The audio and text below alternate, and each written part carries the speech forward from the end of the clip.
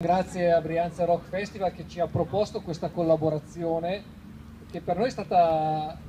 una cosa nuova ma una cosa molto bella, poter abbinare al lavoro quotidiano anche un passaggio con l'arte sicuramente molto stimolante. I nostri ospiti hanno visto in questi giorni la mostra, le persone che in questi giorni sono venute a trovarle, c'è stata questa possibilità di interscambio che è sicuramente eh,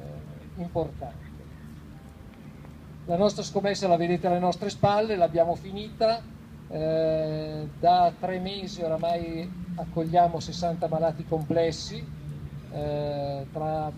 malati in stato vegetativo e malati di SLA, abbiamo 11 posti in stato, eh, di persone in eh, situazione terminale, in hospice, da poche settimane, pertanto il nostro, come dico sempre, il baraccone funziona completamente grazie anche al supporto un po' di tutta la città. È una commessa che ci è costata 11 milioni di euro, tre dei quali li abbiamo oramai coperti, abbiamo 20 anni di tempo per coprire gli altri 8.